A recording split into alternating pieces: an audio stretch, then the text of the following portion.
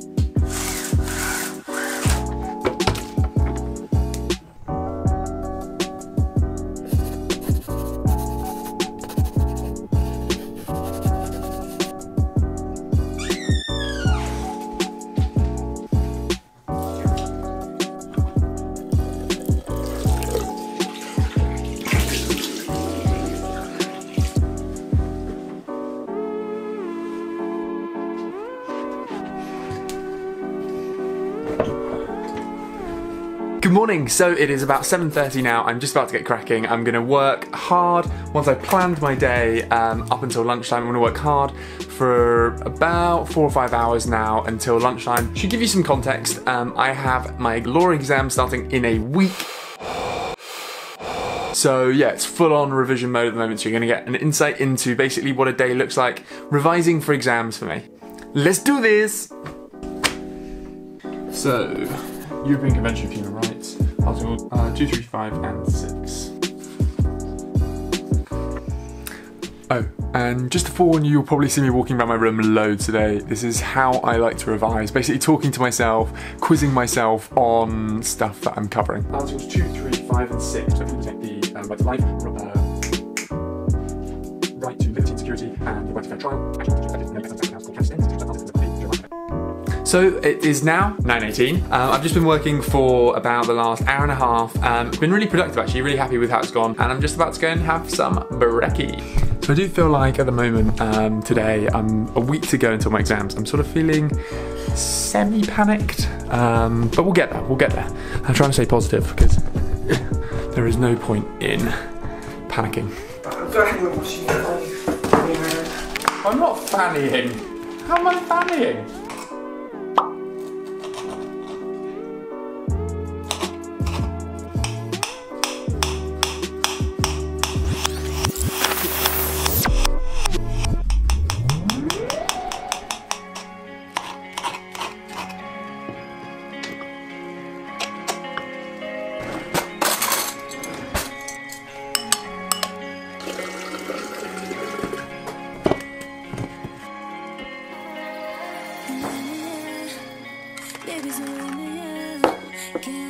So having just had breakfast, it's now 9.53 and I'm about to crack on again with the law. It's human rights again, but this time I'm going to be starting to cover a new material that I haven't covered before. This is pretty much the last new material for constitutional administrative law I've got to cover, so I'm going to be getting through that as quickly as I can in the next hour and then just getting on with memorizing it. Hopefully should have this got through by about uh, half 11 um, by the time I've gone through it all.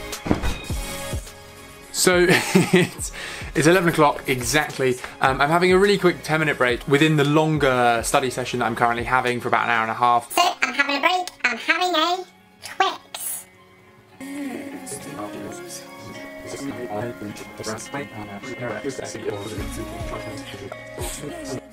So it is now 12.08 and yeah, I ran over a little bit on that last session, but basically made the executive decision that because I was being really productive, I really wanted to get through all of uh, the European Convention of Human Rights stuff, mainly because that's my first exam, so I'm prioritizing that more this week. Happy that I've done that and I'm now gonna have a quick break, which basically means I'm going to quickly go on YouTube and sort out the info for a video I'm releasing later today, and then probably watch TV for 10 minutes before coming back uh, for my next session Admittedly, I lied about the TV part. Um, I didn't actually get to go and do that because I was too busy looking at YouTube analytics on videos and stuff. I feel like um, that's actually one of my biggest weaknesses and something I would really encourage you guys not to do. Like, relax during your breaks, have some time to watch TV, talk to other people, talk about stuff that isn't work, let your mind be completely like at ease and relaxed and have proper downtime. Yeah, I'm glad I've had this conversation. Myself. Um, but because I feel like just being conscious of that is going to make me better at it and mean that for the rest of the day, hopefully now I'm a bit more conscious of making sure that in my breaks I actually have a break. But agreement now, contract. Hmm. It's now 2.17 and I'm gonna go and grab some lunch. That was a really productive session again, so I've been pretty productive today actually. Might do this more often. Uh, I think it makes me concentrate more.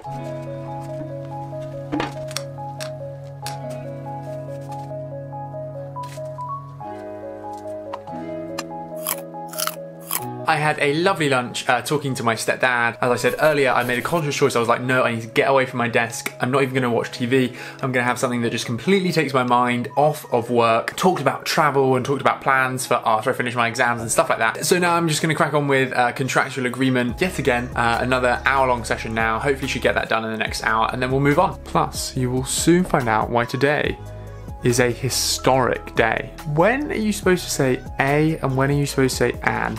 Because on the news, they quite often say an historic day. To me, that sounds wrong. Comment below if you know the answer.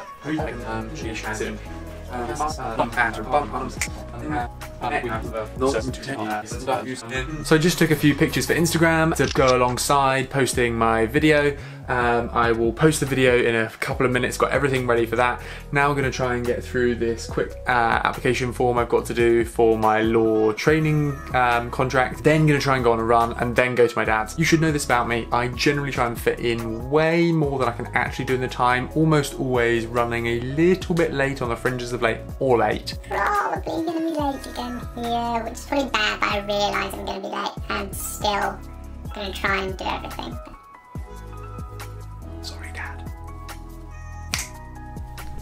Let's go exercise. So this is something I like to do when I have really limited time, like I do right now. Um, I'll literally do five minutes of exercise, literally a few press-ups, a few sit-ups, um, a few different exercises. Uh, feel free to kind of try this out if you'd like. And uh, yeah, it makes me feel like I've done something during the day, even though um, I've really not got much time to do an awful lot. Yeah, let's go.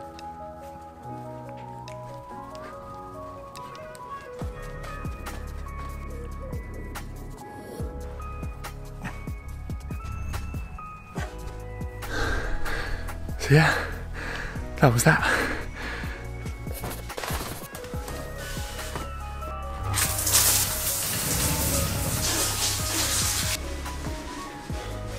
Today is a seriously big day for me.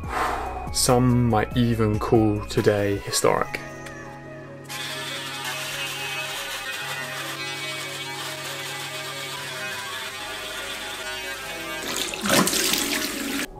Running very late and uh, time to get ready for going to dad's. That petrol gauge right there made for a fairly nervy journey if I'm honest. So we're quite late but we have made it. I'm a little nervous to go inside because I think I'm going to get shouted at but it's okay. Nah, we're fine. Um, just always late. Oops. What was that? He's always late. Just make sure that you tell him half an hour later than